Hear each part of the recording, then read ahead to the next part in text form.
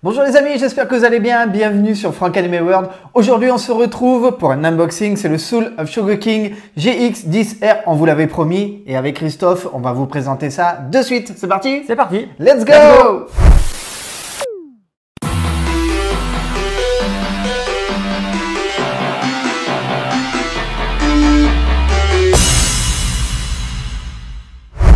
Chose promise, chose due, on vous l'avait dit lors de la dernière vidéo, on vous présentait une figurine HL Pro, c'était le Revoltech 04, c'était le Gingin et pas Jinjin. Aujourd'hui, le Soul of Shogokin GX10R avec Christophe. Bonjour Christophe. Bonjour Franck. Ça va? Impeccable et toi? Eh ben moi ça va toujours très bien, surtout quand tu m'apportes de magnifiques pièces comme ça. Donc cette figurine, on va faire peut-être un petit rappel pour ceux qui n'ont pas vu en tout cas la dernière vidéo et puis on vous engage en tout cas à aller la, découvrir. Cette figurine, tu l'as acquise Eh bien, euh, à Paris.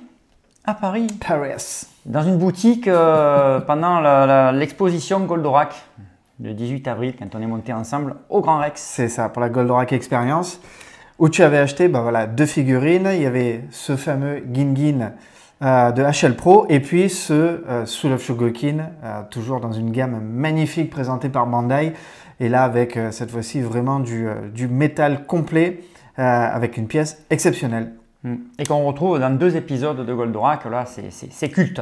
Exactement. aller revoir ces deux épisodes. Exactement. Avec ces, comment on peut appeler ça? Ces, Gugus, c'est ça? Les Gugus qui le pilotent. Les Gugus qui le pilotent. je sais pas si vous vous rappelez, hein, c'est Bélier qui pilote, c'est un ami d'Alcor. Avec ah, ces deux Gugus. Les, amis d'Alcor. ça apporte un petit, euh, une petite note festive, je trouve. Tout à fait. Euh, et humoristique aussi. Tout à fait. Dans l'épisode 14, d'ailleurs, ils viennent fêter le, le nouvel an chinois au, ranch. Bon, bah, du coup, on va découvrir cette, euh, cette superbe pièce. juste pour rappel, mais ça, j'allais dire, vous le savez déjà, la gamme Soul of Shogokin, c'est vraiment une gamme de robots où vous allez retrouver des pièces de Goldorak, mais pas que. Il y a vraiment, et on retrouve vraiment toute cette culture des robots euh, transformables ou pas transformables. Euh, que nous ont donné en tout cas l'animation euh, animation japonaise. Ça passe de Mazinger Z, Get Robo, enfin il y en a, je, ne sais plus d'ailleurs à, combien ils en sont euh, de, modèles sur la gamme Soul of Shogokin, mais alors il y en a une sacrée, euh, sacrée belle collection. Euh, d'ailleurs aujourd'hui, quelqu'un qui voudrait complètement démarrer la collection, ça, pourrait être compliqué, en tout cas en termes de budget, mm. parce que non seulement il y a beaucoup de pièces qui sont sorties, mais aujourd'hui il y a peut-être des pièces qui ont, pris de la cote et, qui sont peut-être plus rares à acquérir. Donc en tout cas, c'est une gamme de produits réalisée par Bandai dans une qualité vraiment exceptionnel parce que là, on a vraiment du métal, les systèmes d'aimants, enfin tout ce qui va bien et vraiment définition top avec des socles, etc., etc. Mais ça, vous savez quoi? On va le regarder immédiatement et puis on va faire le détail et on va ouvrir et tu vas te faire un plaisir d'ouvrir cette boîte. Et eh oui. On vous montre cette boîte en détail avec, ben, comme le fait Bandai à chaque fois sur cette gamme, euh, une boîte forcément sobre parce qu'on a un fond noir euh, qui donne forcément ce côté classe et avec bien sûr de très belles illustrations. Donc sur le devant, illustration du robot fond noir avec bien sûr le logo 50e anniversaire, les mentions Soul of Shogokin bien sûr, GX10R, c'est Boss Robot. Et ça, c'est sur le devant de la boîte. Sur les côtés, très simple. Sur les côtés, vraiment juste la mention Soul of Shogokin avec le GX10R Boss Robot. Et le plus intéressant, bien sûr, c'est à l'arrière de la boîte, puisque vous allez retrouver quelques illustrations avec notamment le robot dans plusieurs positions, les différentes têtes qui sont proposées, et puis vous avez aussi la version socle pour vous montrer un petit peu comment présenter tout ça. Et bien sûr, les petits stickers qui vont bien et les mentions caractéristiques sur les boîtes Bandai. Eh bien Christophe, c'est quand tu veux. Allez, c'est parti. Alors j'ai déjà fait sauter les deux petits scotch pour ne pas perdre de temps. On dirait un enfant qui déballe, euh, c'est génial. Moi j'adore ça. Ça, reste euh, de la candeur euh, et ça reste du plaisir avant tout. Alors bien sûr, c'est toujours juste les boîtes. Hein, vous voyez, voyez Alors, ce que je vais faire, je vais ouvrir le deuxième côté. Là, par contre, c'est oui, c'est emballé très précis. Très précis. on va ouvrir le deuxième côté, comme ça on va pouvoir pousser. C'est de la très grande précision. Hein. Et on va pousser. Je crois que ce sera plus simple. voilà. Hop, la boîte, on va la mettre là. Alors sur les gammes Soul of Shogokin, vous avez l'habitude forcément d'avoir voilà, cette euh, présentation avec bon, ben, déjà une notice, et on va la voir en détail, et bien sûr un blister en polystyrène avec le cache plastique. Donc en général, elles sont toutes, sont toutes emballées comme ça. Voilà la boîte. Et voilà la boîte, on va retrouver la, la pièce centrale, le socle, des têtes, des mains, et puis on va détailler un petit peu tout ça. On va faire sauter le, plastique, voilà, il y a protection, il y a deux le blister de dessus. On va ouvrir euh, proprement la notice et puis on va vous détailler un petit peu euh, tout le contenu. Au niveau de la notice, on retrouve, je dire, une notice classique comme on peut les retrouver sur les Soul of Shogokin. On a vraiment quelque chose voilà, de très euh, Très quali, euh, bien sûr, la figurine présentée sur un fond noir, avec toutes les mentions qu'on retrouve bien sûr, euh, bien sûr sur la boîte. Et à l'intérieur, voilà, toutes les informations spécifiques en ce qui concerne en tout cas le robot, un petit peu sur les personnages, quelques mesures avec euh, d'autres robots qui sont à côté et bien sûr toutes les mentions pour pouvoir euh, détacher, euh, montrer un petit peu ce qui bouge. Une petite notice de montage assez succincte mais au moins elle a le mérite d'exister et puis elle reste très très qualitative. On vous représente ici les têtes mais on va les voir de toute façon, on va les sortir de la boîte et les voir directement dans la main en gros plan, ce sera beaucoup plus, beaucoup plus sympa. Donc voilà, notice en tout cas comme d'habitude, qualitative, sobre et c'est ce qu'on aime en tout cas sur cette gamme. Christophe, je te propose de faire sauter le blister du dessus. Voilà, de pouvoir découvrir toutes les pièces. Voilà, vous l'avez ici en gros plan. On va les prendre partie par partie. On attaque par, euh, par les têtes. Alors, allez, les têtes. Je crois que là, il y a un blister qui est entier pour tout ça. On a les têtes, les bras, les là. Et en tout cas, c'est très très bien emballé. Ah mais ça, c'est, j'allais dire. Il y a encore des scotch. C'est pareil, c'est classique. Il y a encore des scotch. Vous allez retrouver, je vais vous les montrer en gros plan, six têtes. Ça, par contre, c'est pas mal parce que euh, il y a vraiment beaucoup beaucoup de choix de têtes. Euh, ça va vous offrir d'ailleurs, et ça va t'offrir un dilemme dans, le choix de la tête parce que tu pourras pas toutes les mettre. Donc, il faudra forcément oui. en choisir une. La première tête. Allez, on attaque ici. On a voilà une tête avec les yeux, voilà, style pas très content. Ça, c'est la première. La deuxième. La deuxième, là vraiment, là il est pas très content.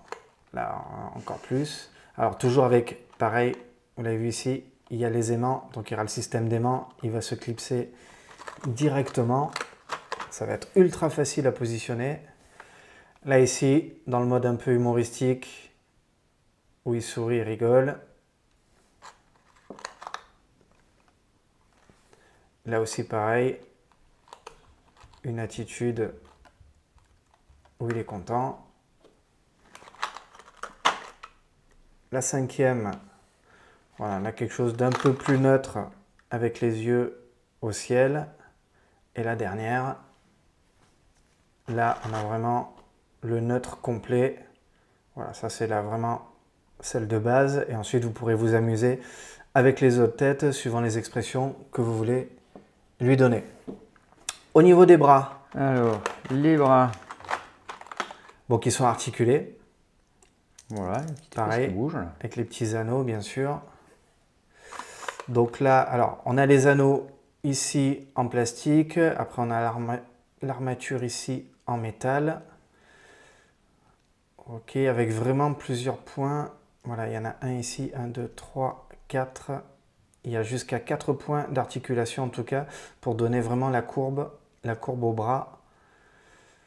Donc il est vraiment articulé en quatre points, ça c'est plutôt pas mal. Ouais voilà, Christophe vous l'a montré, on peut vraiment le, lui faire plier le bras de cette manière-là. Donc ça va permettre vraiment de, d'optimiser euh, complètement les poses et de, euh, pouvoir s'éclater avec, euh, avec toutes les poses possibles et inimaginables. On a deux paires de mains, c'est bien ça? Voilà, des mains ouvertes. Mains ouvertes ici. Alors pareil, ça c'est plastique. On est sur du plastique vraiment rigide. Bon, je vous laisse regarder un petit peu le sculpte de main. Bon, rien d'exceptionnel, c'est propre. Peinture plutôt uniforme. Et on a les versions point fermé. Donc pareil, voilà, c'est propre. Bon, là, il n'y a pas grand-chose à dire. Peut-être une légère bavure là, mais au niveau du moule, mais sinon, ça va. Bon, c'est plutôt, plutôt classique euh, à ce niveau-là. La figurine, là, pareil, sans surprise. On a du euh, métal. Ouh là là. Et son poids, ouais, ça pèse son poids. Oh, que ça pèse de beau. Oh là là. j'apprécie, j'apprécie. Elle, elle, tiendra hein, sur le. Si on avait une petite peseuse, euh, je dirais 300-400 grammes. 300 grammes. Euh, je crois que. Attends, je dois peut-être l'avoir sous la main. On fera peut-être ça plus tard. Ben, on regardera. On regardera. Regarde, qu'est-ce que tu en penses? Ah oui, oui, effectivement. Effectivement. 300 grammes facile. Elle fait quand même euh, effectivement bien, bien son poids. Quoi. Alors vous avez euh, bien sûr toute cette partie-là métal, les épaules métal. Là par contre on va être sur du plastique ici et ici sur les parties, euh, parties jaunes. le torse métal, bien sûr la base ici métal et les pieds ici métal. Ok. Donc on a vraiment voilà, quasiment entièrement toute la figurine en métal. Bon, ça, c'est des finitions sous le Shogokin. On a ici un bouton pressoir. Donc là, j'imagine, ça va être pour éjecter, sûrement, exactement. Pour faire sauter l'aimant de la tête et pour pouvoir l'attraper plus facilement. Donc voilà, en tout cas, euh, tenir, elle tiendra sur le socle, oui, sans, problème. Je pense qu'avec le poids, le centre de gravité étant très bas, il n'y aura pas de souci, en tout cas, pour la, faire, pour la faire tenir. On peut déjà la poser comme ça et elle tient, elle tient déjà toute seule. Le socle, socle sobre, noir. Voilà, je vous montre d'abord le dos. de face. Avec bien sûr les inscriptions devant Sulov Shogokin, 50e anniversaire, Boss Robot. Euh, bien sûr les encoches pour pouvoir positionner les pieds, puis on va pouvoir mettre le reste des, accessoires, en tout cas euh, ici. Et derrière avec les mentions DP, TA, BSP, China, numéro de série, etc. Le dessous est complètement vide. Bon voilà, ça c'est les, socles en tout cas qu'on a l'habitude d'avoir sur ce genre de pièces. Donc tu as vu devant, je ne me rappelle plus si tu l'as dit, les 50e anniversaire. Ouais, 50e anniversaire. 50e anniversaire. Exact. Et donc ils s'appelaient Borot là-bas au Japon. Ici en France, c'est le Beliorak. Le Beliorak Le Beliorak en France. D'accord. Ah bah tu vois, j'avais... De son pilote bélier. J'avais vraiment oublié tout ça. Ça fait un bail que j'avais pas vu celui-là d'épisode. Allez, on va se faire un petit montage rapide avant de le présenter euh, sur euh, le socle et puis de vous montrer un petit peu, euh, un, petit peu plus en détail. Voilà, donc les bras ils s'emboîtent par une petite pression. Voilà, avec un petit aimant à l'intérieur. Voilà. Bon, c'est assez facile. Voilà. Allez, on lui met un petit point ici. Voilà. Goldorak, go. Il est là. Et la main ouverte, hop, la droite. Ici, voilà. Cool. Quelle tête on lui met Allez, on lui met une tête. Euh, là, je les vois de dos, donc je vois rien. Tiens, une tête rigolote. Allez, on met la rigolote. Allez, Allez la rigolote. Hop, Ouf. elle a été attirée du premier coup. Ça, va direct. Elle est droite. Voilà. Ouais, quasiment, comme je ça. vois pas. Hop, là on est bien. Alors, d'où en fait effectivement le bouton pressoir ah oui, derrière. Parce que pour attraper, ça devient dur. Ouais, pour l'attraper, ça va être. Alors c'est faisable, mais c'est un peu plus compliqué. Donc effectivement, oui, ça aide, ça aide complètement. On vous montrera en détail. Mais voilà, vous voyez, c'est très, euh, c'est hyper, hyper rapide, hyper intuitif. C'est ça qu'on aime bien aussi dans cette collection. Euh, et, puis surtout, là encore une fois, ce qui est hyper sympa, c'est de pouvoir changer les expressions. La main ouverte, tu vois, on va pouvoir lui mettre la main sur, euh, la tête, style rigolo ou un peu gêné, ou faire coucou, etc. Donc ça, ça va être vraiment, vraiment cool. Donc voilà, un peu plus en détail. Regardez, la facilité forcément de pouvoir lui donner avec l'écran pour sécuriser la montée ou la descente du bras. Le fait de pouvoir, ben, forcément avec l'aimant aussi, elle va être complètement inclinable un peu dans tous les sens, même à l'envers. Euh, en termes de mouvement, vous allez pouvoir avoir une action voilà, ici sur les pieds et sur la jambe, en avant, en arrière. Et vous avez aussi un écartement au niveau de la jambe. Et au niveau du pied, vous allez pouvoir ici l'incliner. Donc vous, vous allez trouver forcément l'assise euh, assez rapidement une fois qu'il est à plat et ça reste très, euh, très instinctif, intuitif. Et en termes de mouvement, là aussi, avec d'écran, vous avez la possibilité voilà, de le tourner gauche et droite au niveau du bassin. Bon, c'est cool parce que ça offre, mine de rien, avec euh, un robot de petite taille qui est très compact, très massif, ben on a quand même la possibilité de, faire quelques poses sympas et c'est ce qu'on va regarder immédiatement.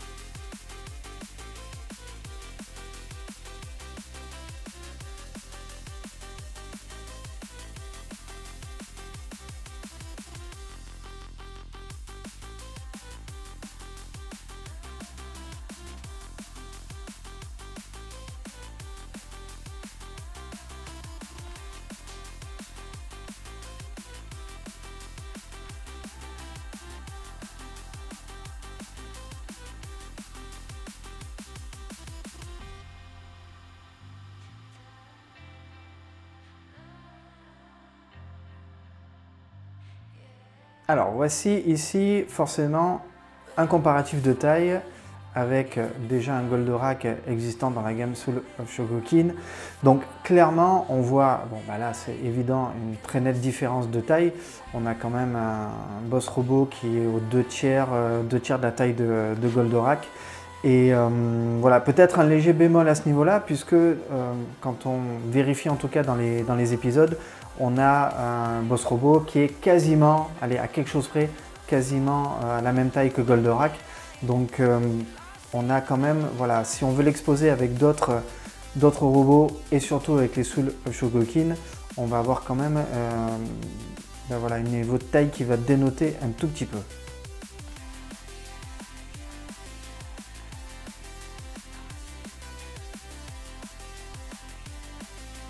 En tout cas, en achetant cette figurine, vous ferez de toute manière une très très belle acquisition.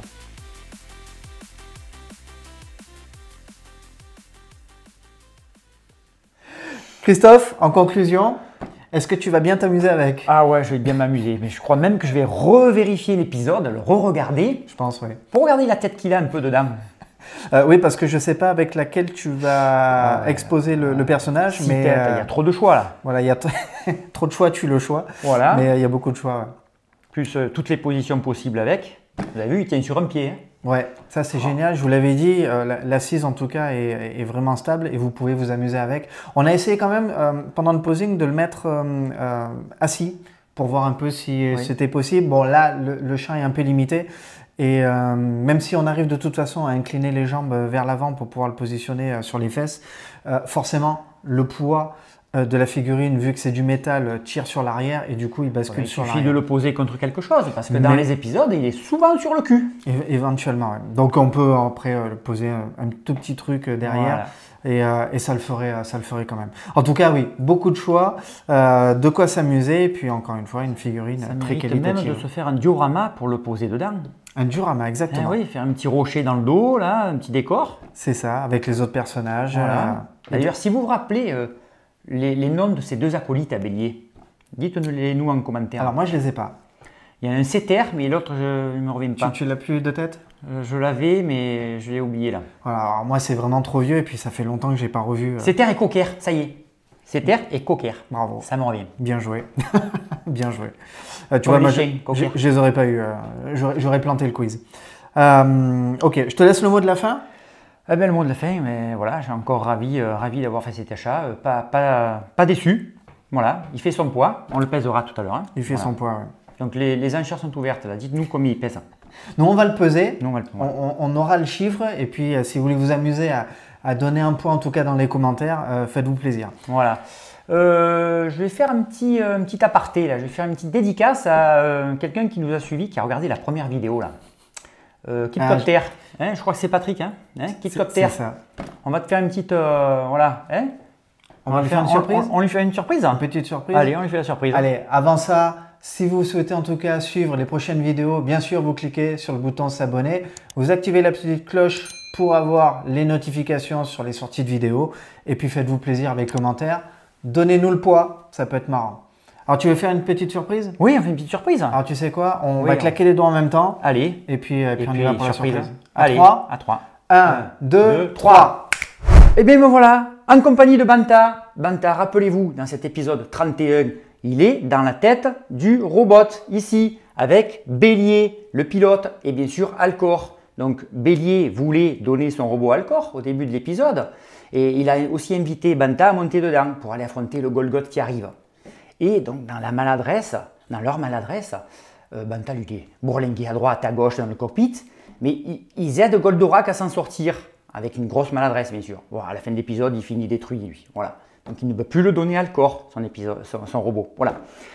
Donc Patrick, qui, qui, qui copter, on te salue, voilà le petit clin d'œil. Et il est là, Banta, il est là. Bon, ben les amis, on vous salue, on vous dit au revoir, et peut-être à une prochaine chez Franck.